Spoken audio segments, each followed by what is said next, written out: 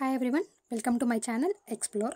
In this video, we are going to see HCL background verification process and the required documents for onboarding.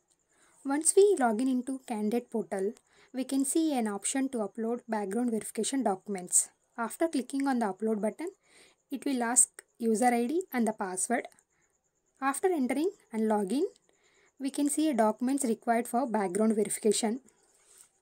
Firstly, we have to download guideline documents and the background verification application form at the top of this page. Here we can see list of documents required for background verification. The documents required for the background verification are 10th mark sheet, 12th mark sheet, provisional graduation mark sheet, bank statement, recent color photo, passbook front page. Upload any government issued ID for address check.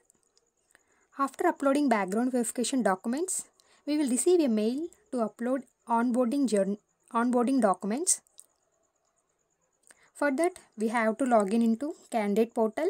Here we can see a option to upload online onboarding documents. By clicking on that, we can see this page.